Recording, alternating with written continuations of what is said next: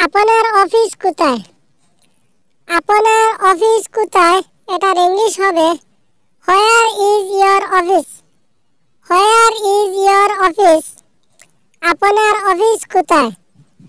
আবার যদি যদি এটাকে আমরা হিন্দিতে বলতে চাই, তাহলে বলব আপকা কার্যালয় কাহা হ্যাঁ আপকা কার্যালয় কাহা হ্যাঁ আপনার অফিস কোথায়? आपका कार्यालय कहाँ है তুমি আমার থেকে কি চাও তুমি আমার থেকে কি চাও এটার ইংলিশ হবে what do you want from me what do you want from me তুমি আমার থেকে কি চাও আবার যদি এটাকে আমরা হিন্দিতে বলতে চাই তাহলে বলবো आप मुझसे क्या चाहते हैं आप मुझसे क्या चाहते हैं তুমি আমার থেকে কি চাও what do you want from me आप मुझसे क्या चाहते हैं